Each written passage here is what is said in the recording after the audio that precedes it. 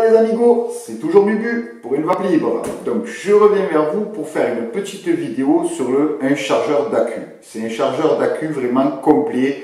Il, euh, teste vos accus, il, il, rend, euh, il, remet à neuf vos accus en fait.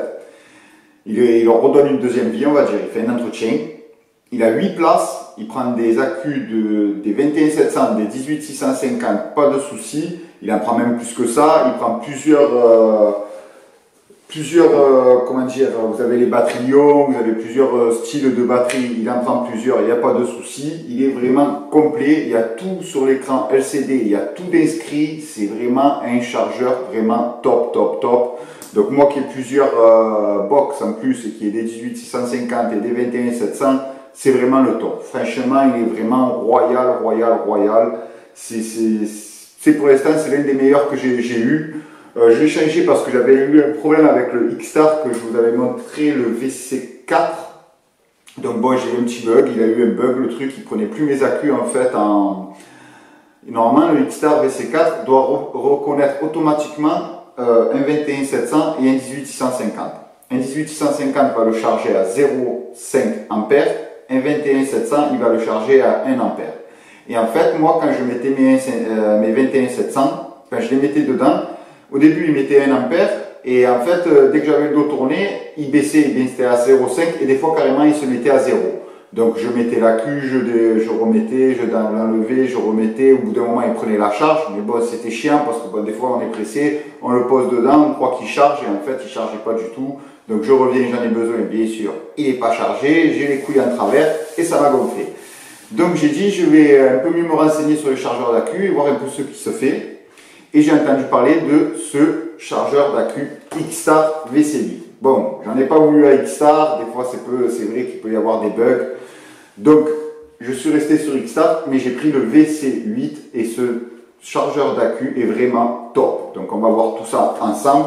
Le seul petit bémol de ce chargeur d'accu, c'est qu'ils ne vendent pas la prise de secteur avec. Donc il a fallu que j'achète une prise de secteur. Donc j'ai pris la prise de secteur, c'est... Euh, c'est quoi la marque? Il prend jusqu'à... Il va jusqu'à 3 ampères, c'est une charge rapide, donc il fait aussi pour les portables, tout ça.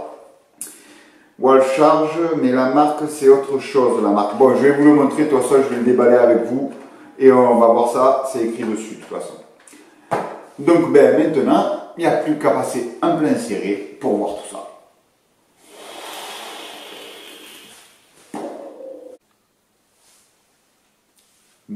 Voilà en plein serré. Donc voici le Xstar VC8.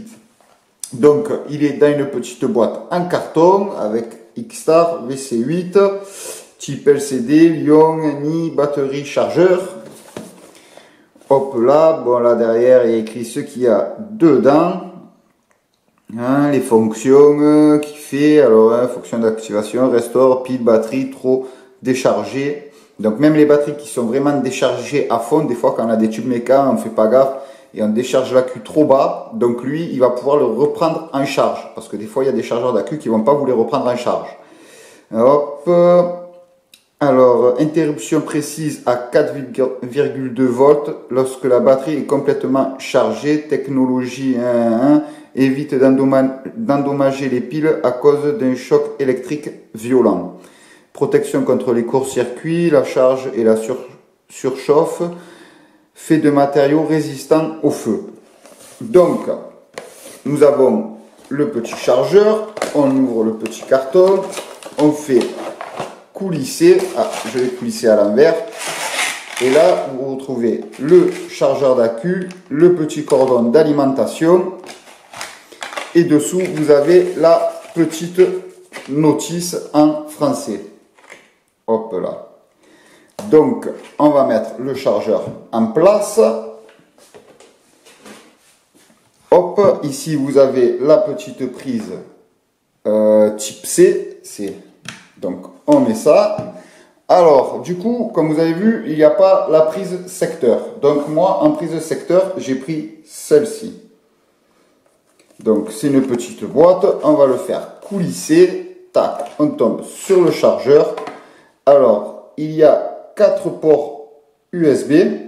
Donc il va jusqu'à 3,1 ampères. Et là, c'est le Quick 3. Euh, Donc alors la marque, c'est ça. Adaptateur Quick Charge 3.0. Donc il envoie 3 ampères.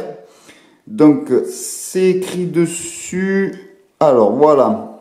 Vous avez le 1, c'est celui-là. Alors lui, il est intelligent. Il choisit si il met 3, il va de 3,6 à 6,5 volts à environ 3 ampères. Il peut prendre, il charge à 6,5 volts à 9 volts 2 ampères et 1,2 volts à 1,5 ampères. Donc celui-là, c'est le côté intelligent. Il va il va calculer tout seul en fait ce que, la euh, ce que le chargeur veut, donc il va lui envoyer automatiquement. Donc ça, c'est pour ça que j'ai pris celui-là, il est vraiment top. Donc là, on met sur bien sûr l'emplacement 1, parce que les autres c'est surtout pour les portables en fait. Donc ce qui est bien, c'est que vous pouvez charger des portables aussi avec, donc ça c'est sympa. Là, on le met dans le bon sens. Moi, j'ai la rallonge bien sûr, mais sinon vous mettez une prise normale, ça marche aussi. C'est pour la vidéo on branche et voilà, le chargeur d'accu s'allume. Donc, je sais pas si vous allez voir grand chose. Alors, on va zoomer un peu pour voir si vous voyez mieux. Voilà, donc on va se focaliser sur la chaîne 1 à 4. Comme ça, je vais vous expliquer un peu ce qu'il fait exactement. Donc là, vous êtes sur le mode cure. Vous avez deux boutons. Alors, ces deux boutons-là, les deux boutons de gauche vont gérer la chaîne de 1 à 4. Et après, quand on regardera l'autre écran, les deux boutons vont gérer la chaîne de 5 à 8. Donc, alors, de, alors, il a déjà une, euh, hop, un placement, Alors, la chaîne 1 à 4 a deux fonctions avancées. Une fonction de classification et une fonction de stockage. Alors, le chargeur peut tester la capacité réelle de la batterie par le biais de la fonction de classification, afin que les, utilisateurs puissent savoir la capacité de la batterie et si la, de la batterie est surévaluée ou non. Donc ça, des fois, vous achetez des accus et on vous dit, par exemple, euh, ouais, l'accu fait 3000, 3000 mAh et en fait, vous ne le savez pas, parce que quand vous chargez euh, votre accu, euh, souvent, les chargeurs, ils vont vous juste dire ce qu'ils mettent en milliampères dans votre accu, mais ils vous disent pas vraiment combien il a votre accu. Donc ça, c'est bien de savoir si on s'est fait arnaquer ou pas, et au moins on peut voir la différence entre certaines marques d'accu, ceux qui sont vraiment euh, francs dans ce qu'ils marquent, ou ceux qui vous arnaquent. Donc ça, c'est sympa. Après, il y a la deuxième capacité.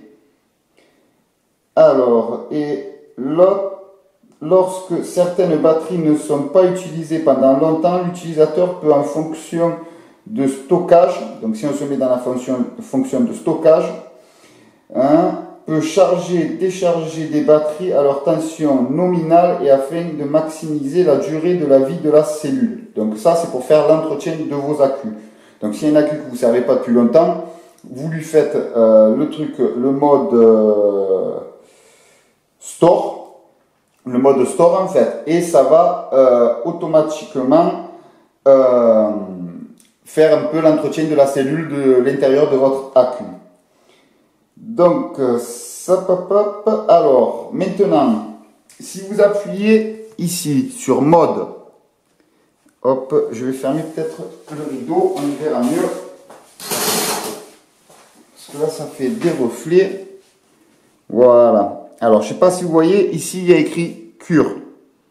Donc, si vous appuyez sur mode, hop, ah ben voilà, il était éteint.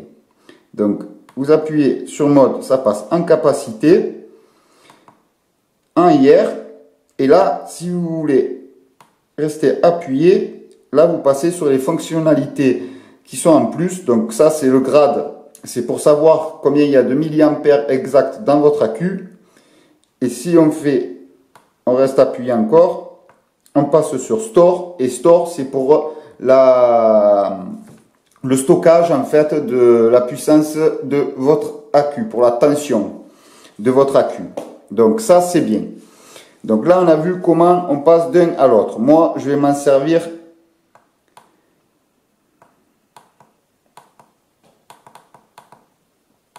On va rester appuyé. Voilà. Moi, je vais m'en servir pour savoir ce qu'il y a vraiment dans les accus. D'ailleurs, je vais charger des 21700 euh, 40T.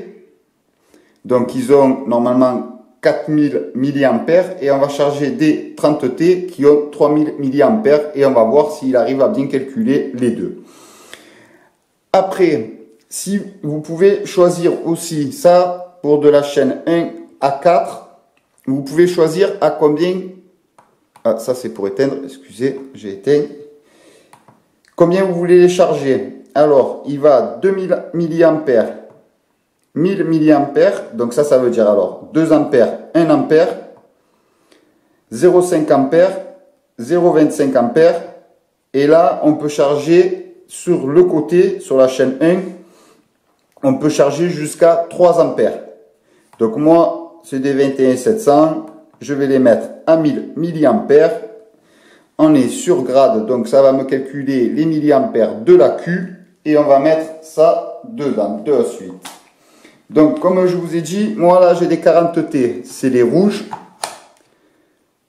Hop. Et j'ai des 30T, c'est les bleus. Hop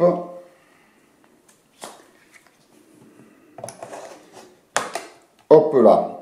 Donc voilà, là vous voyez que c'est pris en charge, pas de souci. Maintenant, on va passer sur la, la chaîne de 5 à 8. Donc pareil, pour allumer, on reste appuyé dessus. Pour éteindre, si vous voulez éteindre, il faut rester appuyé sur cure. Ça éteint. Hop, on rallume. Donc là, je vais vous dire ce que ça veut dire. Alors, cure, ça sert une fois la pile complètement chargée, l'écran affiche full et la valeur actuelle et la valeur actuelle. Après, on va passer sur capacité. Capacité apparaît une fois la pile complètement chargée, l'écran affiche full et la capacité en continu de votre accu. Et on a IR, qui est pas mal aussi, ça, c'est pas, c'est pas tout ce qu'ils le font. Alors, indique une fois complètement chargé, l'écran affiche full et la résistance interne de la pile. Donc ça, la résistance interne de la pile, ça le dit en ohm. Euh, milli-ohm. Alors, à ce que j'ai compris, bon là, moi, le problème, c'est que j'ai pas pu tester en fait des accus qui sont déjà euh, neufs. Mais à ce que j'ai compris, au plus la valeur va monter de votre accu, au plus votre accu, euh, euh, ça voudra dire en fait que votre accu commence à être fatigué. Si, si j'ai bien compris ce que, à quoi ça sert. Donc moi ça je peux pas vous le dire en fait parce que du coup je n'ai pas je n'ai pas essayé avec des accus vraiment neufs que je venais à peine de recevoir donc du coup je peux pas vous dire s'il y a vraiment une différence ou pas. Après, pareil, vous avez cure. Donc, vous appuyez sur cure, vous chargez à 2 ampères, à 1 ampère, 5 ampères, euh, 0,5 ampères, 0,25 ampères. Et là, on repart. Là, ici, sur la chaîne 8, on pourra charger à 3 ampères et les autres chaînes chargeront du coup à, 0, euh, à 2 ampères. Donc moi, là, je suis sur des, je vais mettre des 18650. Hop, je vais me mettre à 0,5 ampères et je vais mettre mes petits 18650. Donc on va voir un peu quand même la différence, même si c'est pas les mêmes accus. Ceux-là sont plus récents. Ces deux-là sont Hop, voilà, mise au point. Ces deux-là sont plus récents. Celui-là, j'ai dû le revraper parce que j'ai abîmé le wrap, mais c'est les deux mêmes je les ai eus en même temps, sont plus récents que celui-là. Celui-là, je m'en sers en fait pour le home donc c'est un vieil accu. Donc on va voir la différence. Je me suis mis en mode IR et ça va me dire la capacité interne de mon accu. Donc si j'ai bien compris, normalement, celui qui est plus vieux, celui-là, devrait automatiquement être plus haut à la, fin du calcul que ces deux-là, si j'ai bien compris. Et après, bon, c'est pas les mêmes accus, donc ça, je ne peux pas être sûr non plus. Et voilà, donc là, c'est en train de charger. Bien sûr, on va pas filmer en train de charger, ça ne sert pas à grand chose. Donc bon, ben déjà, si on zoome un peu, on voit, vous voyez, là c'est à 0,21, 0,20 et ici je suis à 0,29. Donc déjà la valeur est bien plus haute. Donc je pense que j'ai pas dit de conneries, que c'est bien comme ça que ça fonctionne. Donc maintenant, on va laisser le chargeur charger tout seul euh, et on regardera les résultats de la fin. On va éteindre pour économiser l'électricité. Donc ceux-là, les rouges sont des 40 T, les bleus sont des 30 T. Donc là, ça va nous dire les milliampères à la fin qu'ils ont chacun en capacité. Et ici, ça va nous dire, euh, une fois chargé, ça va nous dire la résistance interne. Donc bien sûr, il aurait fallu faire ça avec un accu neuf. Dès que vous avez un accu, la première charge, vous le faites en hier. Et comme ça, vous avez déjà votre valeur, vous le marquez sur un papier. Et si vous voyez que la valeur commence à monter, ça veut dire que votre accu commence à être fatigué. Et dans ces cas-là, eh ben, hop, on va le changer. Donc sur ce, ben, on se laisse un peu et on reviendra quand tout sera chargé et on verra le résultat final. À tout à l'heure.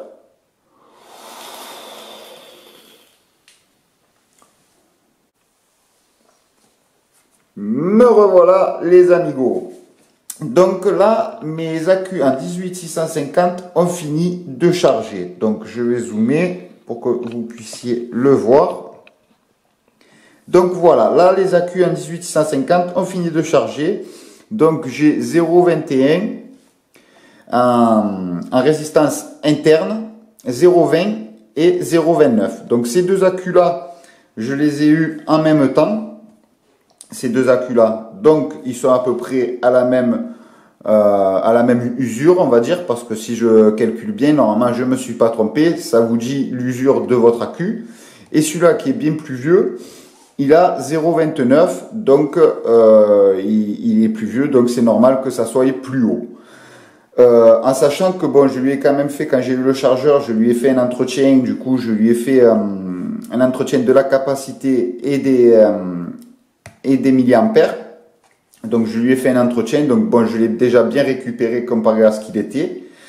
Donc ça, c'est déjà fait. Et maintenant, donc je vais les enlever, ceux-là d'ailleurs. Comme ça, les autres vont pouvoir finir de charger et je ne laisse pas les accus en charge. Hop, voilà. On les enlève. Comme vous avez vu, écrit, il y avait écrit full, donc ça veut dire que c'était fini de charger. On peut éteindre l'écran en restant appuyé sur cure. Et on va passer à côté, on va voir où ça en est. Hop là. On passe à côté et on va appuyer, on va rester appuyé sur cure. Et voilà. Donc euh, là, j'ai les 4000 milliampères. Donc là, je suis à 900. Donc je pense que c'est en train, ah, c'est en train de remonter. Et ici, je suis à 0,100 à peu près chacun. Donc là, c'est en train encore de faire... Euh, c'est en train de les vider, on dirait. Là, si je regarde bien, c'est en train de vider. Et là, c'est en train de monter. Donc bien sûr, vu qu'on est en train de faire une... Euh, comment vous dire Qu'on est en train de faire une, une charge complète et une décharge complète pour recharger complètement, le chargement va être plus long. Ça, c'est normal, hein, euh, du coup, qu'on est en train de faire... Euh, en fait, on, le charge une fois, on le vide une fois, pour le recharger encore une fois. Donc, c'est comme si on faisait trois fois la charge. Donc là, ça va être plus long, mais au moins, vous serez, on saura exactement combien il y a de milliampères dans les accus et voir si Samsung nous a pas mitonné. Donc maintenant, on va se quitter, on va laisser encore le temps de charger et on se retrouve pour la fin quand ça sera chargé.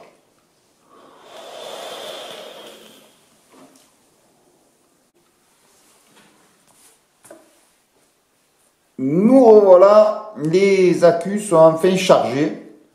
Donc là, vous voyez, il y a écrit donne, donc ça veut dire que c'est chargé. Donc ceux-là, ce sont des, les rouges, comme je vous ai dit, c'est des 4000 mAh. Donc là, je suis à 3946, 4021, et ceux-là, ce sont des 3000 mAh, je suis à 3135 et 3108. Donc bon, euh, là, ils ont un peu baissé, ils sont pas à 80. Et euh, celui-là aussi, donc bon, il y en a qui doivent être un peu plus fatigués que d'autres, je pense. Ceux-là, ils ont bientôt euh, un an. Et ceux-là sont un peu plus récents quand même. Ils doivent avoir 6 mois. Donc bon, ceux-là, vous voyez, bon, ils sont bien en pleine charge. Celui-là, il doit avoir un peu moins. Donc est-ce que c'était pas comme ça déjà à la base? Je ne saurais pas vous dire parce que quand je quand je les ai eus, je n'avais pas encore euh, ce chargeur d'accu, donc je n'ai pas pu les tester avant pour voir si c'était vraiment ça. Mais bon, on s'en rapproche pas mal. Donc bon, après Samsung, je savais que c'était quand même de la qualité en accu. Donc c'est pour ça que je suis allé là-dessus. Donc vous voyez, il n'y a pas, il m'étonne pas, les, les milliampères, ils sont bien là. Donc maintenant, nous allons pouvoir passer à la conclusion.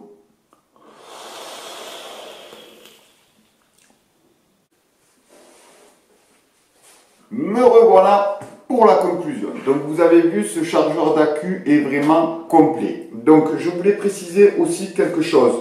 Quand vous utilisez euh, le mode, euh, hop là je vais retrouver le mode store, le mode stockage pour euh, refaire l'intérieur de votre accu. Alors ça va charger, hop, je l'ai vu écrit, attendez, excusez-moi. Voilà, stockage. Lorsque la tension de la batterie intérieure et euh, de la batterie est supérieure à 3,7 ou 1,2 nominal, elle sera chargée à 3,7. Donc quand vous allez utiliser ce mode, s'il y a écrit 3,7, c'est normal, ça ira pas à 4,2 comme votre accu prend quand il est en pleine charge. Donc ça, c'est normal, vous en faites pas. Après, quand vous utilisez ce mode-là, ça ne recharge pas les milliampères, il me semble. Donc euh, il faudra après le, lui charger les milliampères. Donc là, j'ai pas pu vous faire tous les trucs parce que bon, bien sûr, euh, les chaînes 1 à 4 forment un mode et euh, je peux changer que de chaînes 5 à 8. Donc je peux utiliser que deux modes de l'appareil. Donc vous voyez, il y a encore plein d'autres modes. Après, franchement, moi je vous le conseille, ce chargeur d'accu, parce que déjà d'une, il fait l'entretien de vos accus. Il peut vérifier que vos accus sont bien il y a bien euh, ce qu'on vous dit quand vous les achetez, parce qu'il y a des certaines marques d'accu que j'ai entendu parler comme quoi ils ne sont pas au top. Je ne les ai pas achetés parce que j'ai entendu que c'était qui mitonnait un peu sur les milliampères qui dégageaient ou l'ampérage qui dégageait. Donc ça, je ne fais, je fais très attention. Donc je me suis renseigné avant d'acheter mes accus. Donc je suis parti sur du Samsung en sachant que c'est une bonne marque. Donc vous avez Samsung, Sony et LG qui sont une marque de confiance. Euh, après moi là j'ai des VAP Procel par exemple que, que j'ai, c'est des 18650, donc je m'en sers en mode méca, en mode méca, euh, excusez-moi, non, pas en mode méca, je m'en sers en box électro. Donc du coup, c'est moins important. La box électro, elle, elle choisit ce qu'elle prend dans les accus et il y a des sécurités, donc bon, je me suis dit, je peux y aller. Après, ou sinon, si vous êtes en méca, moi je vous conseille les Sony, euh, les Samsung déjà en premier, les Sony et les LG. LG, j'en ai jamais eu mais Sony j'en ai eu et euh, bon ils sont de confiance aussi. Donc c'est pour ça. Je vous conseille euh, ces accus là après comme je vous ai dit il y a le mode capacité qui, qui permet qui fait apparaître une fois la pile complète affiche full et fait apparaître la capacité en continu. Euh, une fois que le quand si vous utilisez le mode cure donc une fois complètement chargé ça fout full bien sûr et la valeur actuelle et la valeur, actuelle. Donc ça, voilà. je ne sais pas exactement ce que ça veut dire. Et le mode IR qui vous dit la résistance interne de votre accu. Donc ça, comme je vous ai dit, la résistance interne, normalement, varie. Donc ça veut dire que quand votre accu est neuf, vous allez avoir une résistance interne basse. Et quand votre, au plus votre accu va être vieux, au plus la résistance interne va augmenter. Donc ça, bon, ça, ça veut dire arriver à un certain stade, il faut changer les accus. Bon, normalement, à peu près tous les ans, ça se change. Voilà, ça c'est si on, si on est en mode méca, vaut mieux les changer tous les ans, on va dire. Donc voilà, ça c'est pour ça. Euh, et après, je pense que bon, on a fait le tour. Hein. Comme je vous ai dit, la chaîne, il n'y a que de la chaîne 1 à 4 que vous avez les deux fonctionnalités en plus. Donc la fonctionnalité grade pour voir la capacité en milliampères de votre accu et la fonctionnalité store qui est le mode de stockage, donc le stockage interne de votre accu. Donc vous avez ces deux modes-là qui sont sur la chaîne 1 à 4. Il prend une charge sur les extrémités de chaque côté de 3 ampères si vous voulez, c'est le maximum. Après le reste sera 2 ampères. Après vous pouvez choisir vous-même, par exemple de la chaîne 1 à 4, l'ampérage que vous voulez. Vous pouvez aller de 2 ampères, 1 ampère, 0,5 ampères, 0,25 ampères. Après, vous pouvez par exemple charger comme moi j'ai fait, euh, j'ai mis les 21700 sur la chaîne 1 à 4, je les charge à 1 ampère. La chaîne euh, de la chaîne 5 à 8, je charge à 0,5 ampère parce que j'étais sur des 18 650. Donc ça, vous pouvez le choisir, donc ça c'est bien. Vous pouvez même changer de mode pendant que c'est en train de charger. Ça, je ne l'ai pas fait parce que bon, j'en ai trouvé pas l'utilité. Je préfère que ça reste sur un mode et que ça change pas.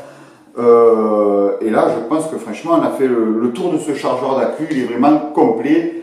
Après, vous vous dites des fois, bon, moi j'ai que 4 accus, donc ça sert à rien de prendre un, chargeur avec 8 euh, emplacements. C'est à savoir que quand on est dans la vape, moi aussi j'ai commencé, j'avais une box. Maintenant, j'en ai 1, 2, 3, 4. J'en ai encore 4 là-bas, j'ai 8 box. Donc bon, Maintenant, euh, les 8 box, euh, le VC8, euh, comme là, si j'attends un peu, j'ai 8 accus à charger, il le fait largement, c'est très bien.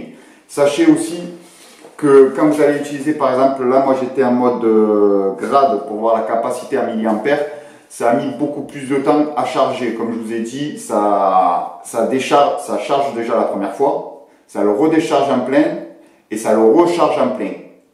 Donc ça fait comme si ça faisait trois charges donc c'est vraiment plus long. Moi par exemple là j'étais à 1 ampère, j'ai mis à peu près 24 heures pour faire 4 accus.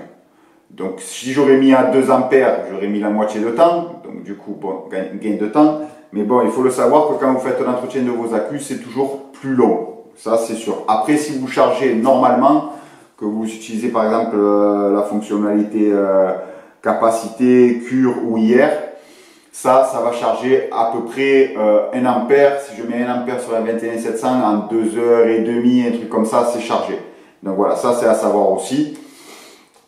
Et là, je pense qu'on a fait le tour du chargeur d'accu VC8. Franchement, moi, je le conseille vivement. C'est vraiment top pour les accus. même, il prend les accus, par exemple, quand vous êtes mode BK, des fois, selon les montages que vous allez faire, vous n'allez pas sentir vraiment la baisse de votre accu qu'il est vraiment vide, donc du coup vous allez insister un peu, ou si vous n'avez pas d'accu sous la main, vous allez vouloir un peu insister dessus pour aller jusqu'au bout. L'accu va être vraiment vide, vous allez mettre sur un chargeur normal, il ne va pas le reprendre en charge. L'accu il sera mort, il sera bon à jeter. Celui-là, il va vous le faire, il n'y a pas de souci, il le reprendra en charge et il lui redonnera une deuxième vie même. Donc ça c'est vraiment un chargeur vraiment complet. Donc je vous le conseille fortement. Maintenant, si cette vidéo vous a, vous a plu, pensez à mettre un petit pouce. Abonnez-vous pour voir les autres vidéos qui vont arriver. Il va y avoir encore du but, ça va reprendre. Et euh, en attendant, ben, vapez tous pour une vape libre et faites-vous plaisir.